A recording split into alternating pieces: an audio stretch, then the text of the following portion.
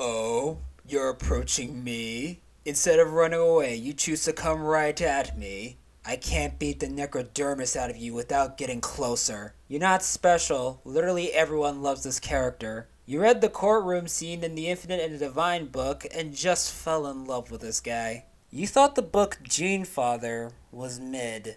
You like the more wacky and silly side of this hobby. You say GG a lot. I know exactly what you're hiding in your homework folder, and honestly, I'm not going to judge. You think about the concept of Necron One Piece. And if not, well, there's your narrative campaign idea. You believe that his backstory is sadder than Angron's. To be fair, it is.